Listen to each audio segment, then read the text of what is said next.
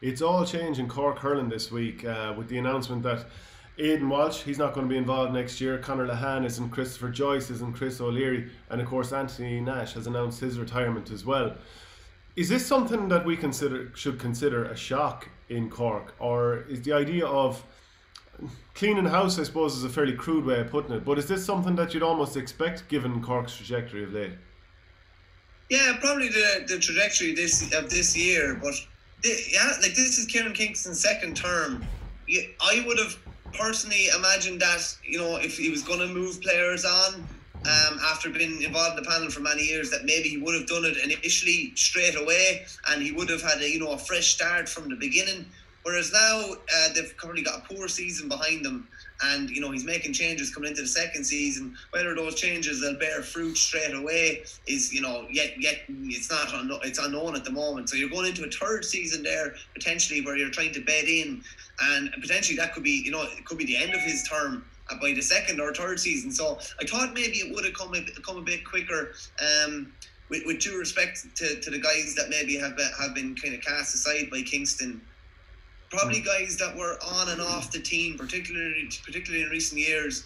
Um, form hit big high, big highs, then probably took big enough dips as well. And I think consistency is probably the word that should come back to. It's not something we've associated with Cork. You know, Ben O'Connor said to me like that they used to always kind of laugh or joke almost about, you know, you'd never back Galway because you don't you don't know what you're going to get from them in a given day. And he said, We have now become that and that, that's that's a fair point. Yeah. And um, I think the consistency or maybe lack thereof from some of these players, you know, Lehane in 18, absolutely unbelievable.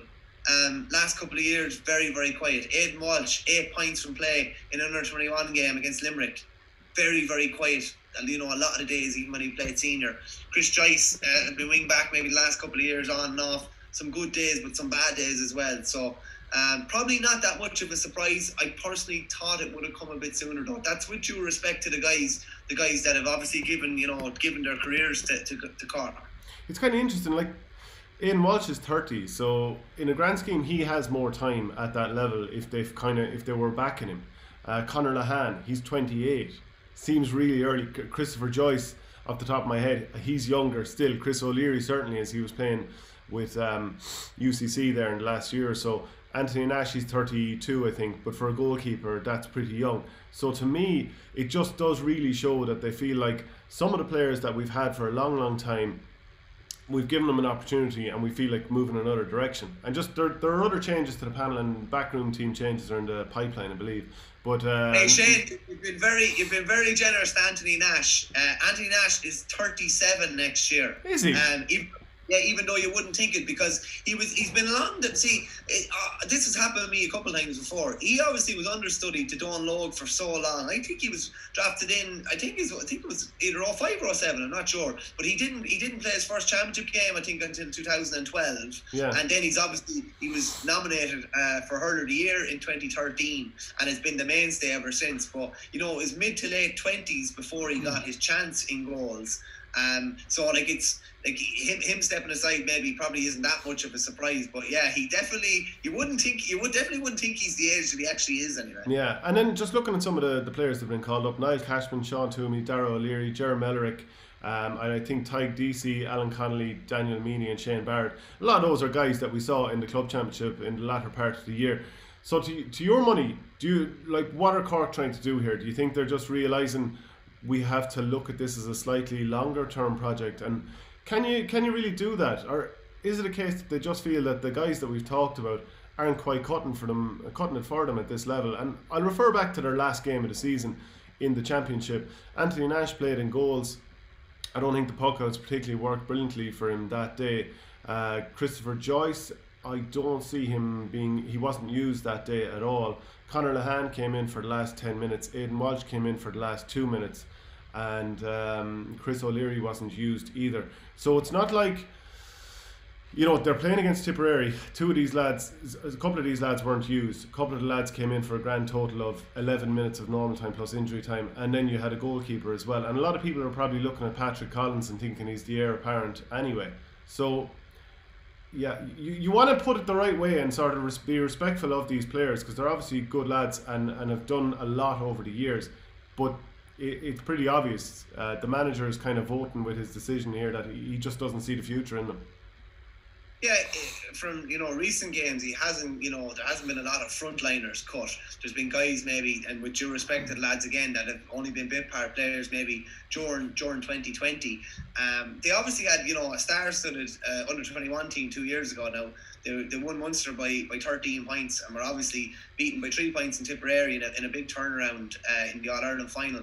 But a lot of those guys would have been seen as the kind of the heir apparent to, co- to come in and take a lot of these uh, senior spots. And of course, we saw the likes of Alan Connolly and even Jeremy Melrick in the in the club season as well, and so the form that they brought to the table. So I think it's just placing faith in youth. Um, now rather than over the next couple of years and maybe knowing that you know, he has a couple of players who've maybe been inconsistent and maybe they need to go with fresh blood and see what they can get off it.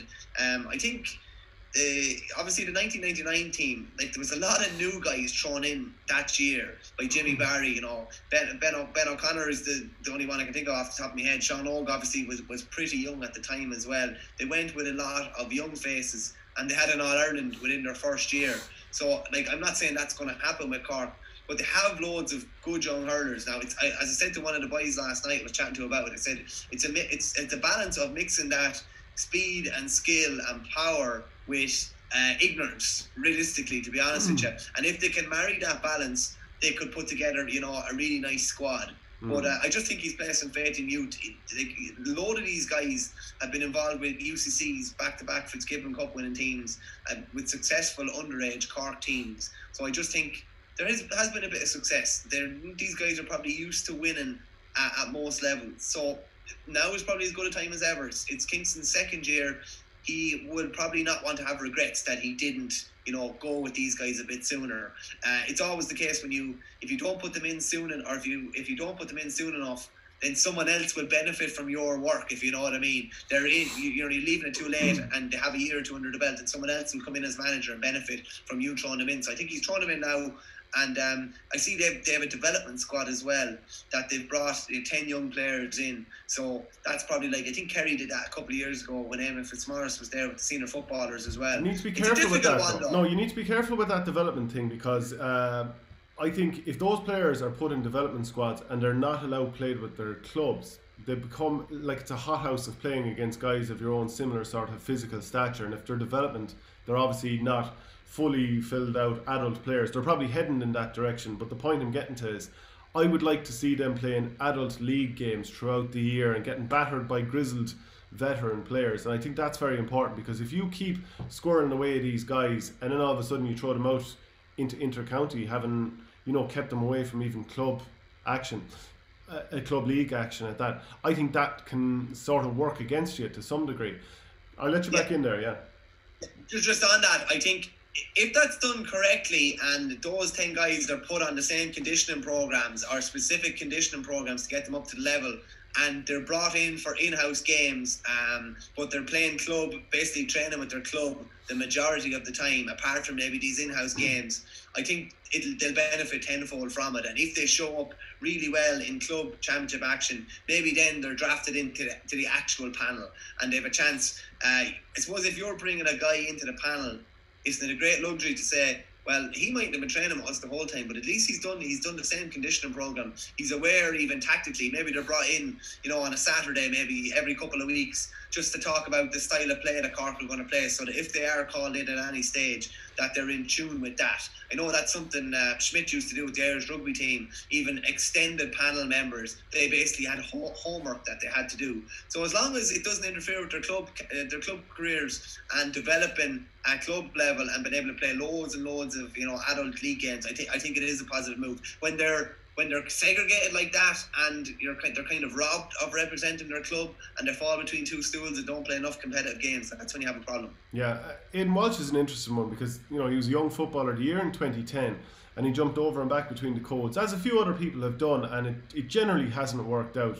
It doesn't in the modern era. Podge Collins tried it and like probably would have had varying results with it. And some people would say that it's impeded Aidan Walsh's development in either code, the idea of jumping between the two, to some degree, maybe even Eoin Cadogan, who I think has probably been more consistent in both codes over the years. And there's there's there's other examples as well. Lee Chin obviously jumped between the two as well. Do, do you think that it, like Aidan Walsh, if he had to stay hurling the whole way throughout, that that he could have become the main player on this, the leader? Like I think 2014 he was in line for an All Star when Cork won the Munster title, and then played against Tipperary in the All Ireland semi final. Tipperary destroyed Cork, and he was taken off uh, midway through the second half, and that was his his sort of All Star gone. We saw him in the last year or so at full forward at times. We saw him at wing forward, and this is a guy who you know, if you jump all the way back to that 2011 under 21 game against Limerick, eight points from play in that game in the under 21 championship. Like he just looked like he would be unbelievable, but it hasn't really happened. If I'm being honest with you, Shane, I always thought he was a better footballer than hurler. If I'm being honest with you, I always thought he was more natural. I always thought his um, his physical stature and how mobile he was uh, played into the hands better at intercounty football level than hurling. Like it, it's one thing being big for intercounty hurling. But it's uh, like I always find it with bigger guys maybe that haven't played as much hurling. It's all around your feet.